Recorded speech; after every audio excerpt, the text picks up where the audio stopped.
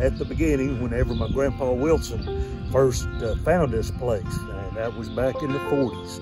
He come down through here. Of course, all this, this wasn't hill. We still had the tracks, but he brought my grandma down here and he come across the tracks and they went down this road and they went down this field and saw the farm.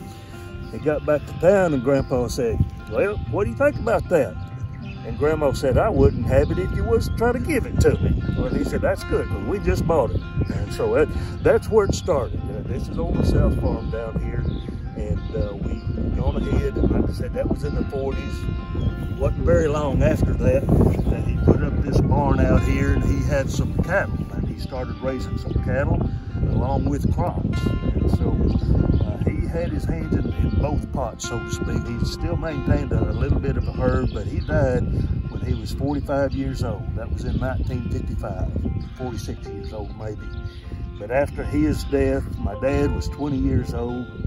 He took over the farm and it was just trying to raise the cattle and the grains was just a little bit much and he really didn't have a big interest in cattle so he got rid of them but we've maintained the barn and we, we're trying we've got a couple of horses out here right now and we try to keep it up because it is a landmark so to speak. It, has been here since the early 50s at least. I know it might have been the late 40s but i'm thinking it was the early 50s and we're trying to keep it up and maintain it kind of as a, a landmark to the farm our farm now is mostly grains and we raise rice and soybeans mostly. We have raised wheat and we have raised corn and that's something I might be interested in getting back into uh, with the furrow irrigation and all of that. If you get your ground precision level and get it to where you can furrow irrigate it, uh, it works well.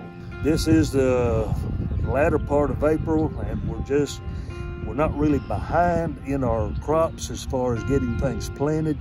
Uh, but we're not ahead either. We're just kind of right in between. Normally, we'd like to try to start planting uh, around the 1st of April. And so we're in that regard, it's been wet. It has been wet the last few years as far as trying to get the crops in. Uh, but uh, we are making progress. We've got drills going right now. We've got uh, other field preparation going, trying to get things ready to go ahead and get our rice in the ground. Now, uh, beans will, will be coming along uh, latter part of May, first part of June. That's normally whenever we try to plant our beans. We've got uh, some of our rice planted. We've still got uh, a lot of acres to go yet. Uh, the Lord's been good to us. We've had some good weather here lately and we've been able to go ahead and, and work our fields and get them ready and to start putting it in the ground.